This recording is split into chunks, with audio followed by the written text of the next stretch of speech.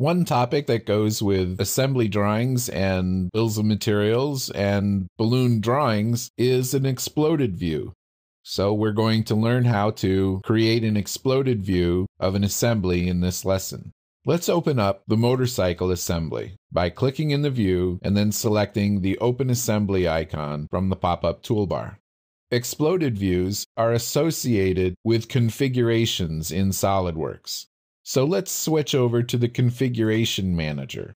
If you expand the existing configuration, you'll see that there's already an exploded view, and it has several associated explode steps.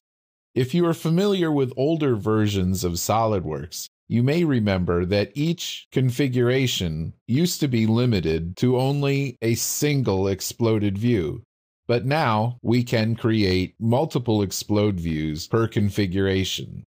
So if you right click on the configuration, you should be able to create a new exploded view. The explode functionality in SOLIDWORKS is fairly easy.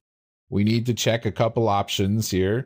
In this first exploded assembly, I'm just going to explode out the major subassemblies.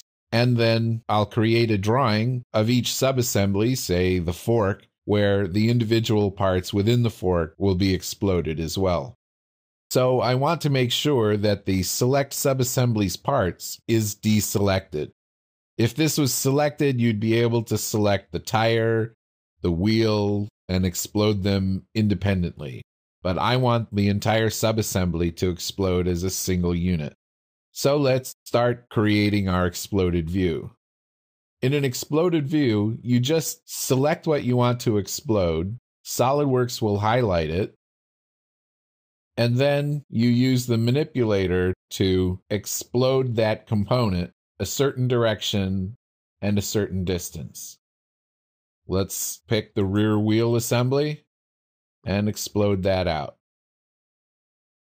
It's a good idea to create your explode in approximately the same view angle that you're going to use on the drawing to make sure that all of your parts are visible and nothing is hiding behind another part.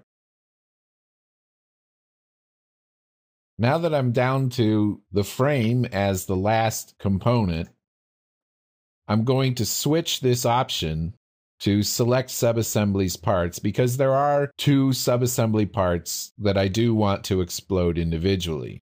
One would be the chain, another would be the gas tank.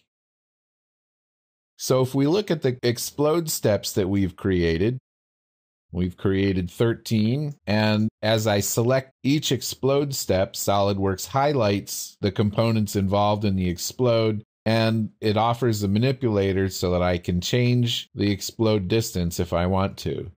You can also expand the explode step so you can see the components that are involved in that particular step. So now this explode view has been added to the list under the default configuration with the original exploded view. Let's go back to the assembly drawing now and put this exploded view on the second page. Before we do that, I just want to make sure that I can save this current view. So I press the space bar to get the view orientation box up and then click on the new view button and give this a name Something creative like exploded view.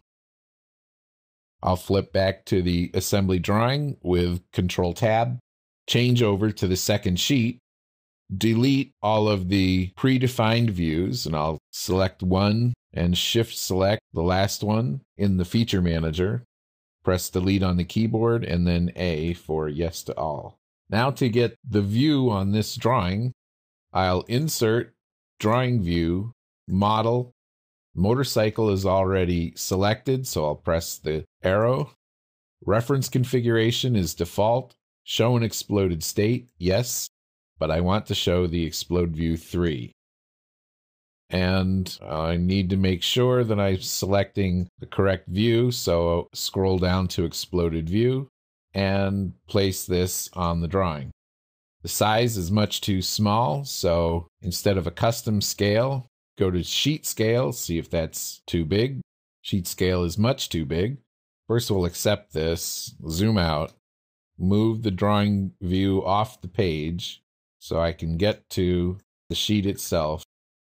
Right click, properties, scale 1 to 2. Instead, I'll make this 1 to 10. And now I can drag the exploded view back onto the drawing, press F for zoom to fit, set any other settings that I think are appropriate, and accept.